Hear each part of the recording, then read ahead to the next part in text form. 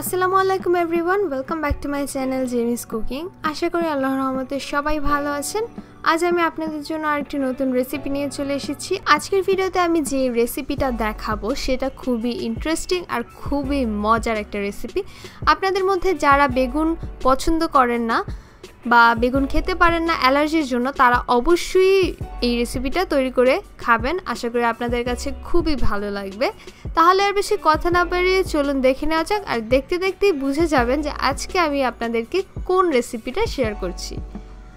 প্রথমে বেসনের একটা ব্যাটার তৈরি করে নিব আর তার জন্য আমাদের লাগবে এক কাপ পরিমাণ বেসন। এই বেসনটা কিন্তু আমি ঘরেই তৈরি করেছি আর সেটা কীভাবে তৈরি করেছি তার একটি ভিডিও আমার চ্যানেলে দেওয়া আছে। লিঙ্ক ডিসক্রিপশন বক্সে দিয়ে দিব, আপনারা চাইলে দেখে নিতে পারেন। সেই বেসন থেকে এক কাপ বেসন দিয়ে দিলাম। এরপর এর মধ্যে দিয়ে দিচ্ছি হাফ চা চামচ হলুদের গুঁড়া, হাফ চা চামচ লাল মরিচের গুঁড়া, হাফ চা চামচের মতো লবণ। এতেই পারফেক্ট স্বাদ চলে আসবে। এরপরে ওয়ান ফোর চা চামচ দিয়ে দিচ্ছি ধনিয়া গুঁড়া, হাফ চা চামচ ভাজা জিরার গুঁড়া। একদমই সামান্য এক চিমটি দিয়ে দিচ্ছি গরম মশলার গুঁড়া। এবারে শুকনো উপকরণগুলো একসাথে একটু মিক্স করে নিচ্ছি।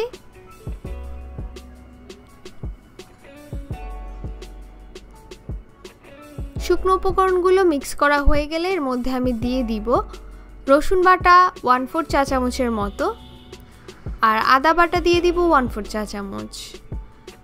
এবার এগুলোকে একটু মিক্স করে এর মধ্যে আমি অল্প অল্প করে পানি অ্যাড করে একটা ব্যাটার তৈরি করে নিব। ব্যাটারটা খুব বেশি ঘন বা খুব বেশি পাতলা হবে না, তবে মোটামুটি একটু ঘনর দিকেই ব্যাটারটা যাবে। খুব বেশি পাতলা করে ফেলবেন না, এরকমভাবে চামচ উঠিয়ে দেখবেন, যখন এরকমভাবে এক ফোঁটা, দুই ফোঁটা করে পড়বে, তখন বুঝবেন যে ব্যাটারটা পারফেক্টভাবে গোলানো হয়েছে। এবার আমি আপনাদেরকে দেখাই মিষ্টি কুমড়া, আর মিষ্টি কুমড়াটা আমি ঠিক এইভাবে পাতলা করে কেটে নিয়েছি, আপনারা এরকমভাবে পাতলা করেই কাটবেন। আজকে তাহলে আমি আপনাদেরকে দেখাবো মিষ্টি কুমড়ার বেগুনি। অ্যাকচুয়ালি বেগুনি বলা যায় না, মিষ্টি কুমড়ার কুমড়ানি বলা যায়। তো মিষ্টি কুমড়া দিয়ে রেসিপিটা আপনারা অবশ্যই বাসায় তৈরি করে দেখবেন। এখন এই মিষ্টি কুমড়ার মধ্যে আমি সামান্য একটু লবণ দিয়ে দিব। লবণটাকে একটু ভালো করে এই মিষ্টি কুমড়ার সাথে মিক্স করে নিচ্ছি। মিক্স করা হয়ে গেলে এর মধ্যে আমি দিয়ে দিচ্ছি একদম ওয়ান ফোর চা চামচের মতো লাল মরিচের গুঁড়া। এতে করে হালকা একটু ঝাল ঝাল ফ্লেভার আসবে। এটাকেও খুব ভালো করে মিষ্টি কুমড়ার সাথে একদম মিক্স করে দিলাম। এবার এগুলোকে ভাজতে চলে যাব। ভাজার জন্য চুলাতে একটি প্যান বসিয়ে এর মধ্যে দিয়ে দিচ্ছি পর্যাপ্ত পরিমাণ তেল। তেল গরম হয়ে আসলে যে ব্যাটারটা আগে তৈরি করে রেখেছিলাম, সেই ব্যাটারের মধ্যে মিষ্টি কুমড়াগুলো এভাবে ডুবিয়ে দিতে হবে। দুটো পাশ এভাবে ডুবিয়ে দেওয়ার পর এগুলোকে তেলের মধ্যে ভেজে নিতে হবে। আমরা সাধারণত বেগুনি যেভাবে ভেজে থাকি, এটাও কিন্তু সেম প্রসেসে ভাজবেন। বেগুনিটা যেমন ভেতরটা একেবারে ভালোভাবে কুক হয়ে যায়, এটাও আস্তে আস্তে কুক হয়ে যাবে। এক এক করে সবগুলো দিয়ে দিচ্ছি। দুটো পাশ উল্টে পাল্টে পছন্দ মতো কালার করে ভেজে নেবেন। যে যেই রকম পছন্দ মতো খেতে চান।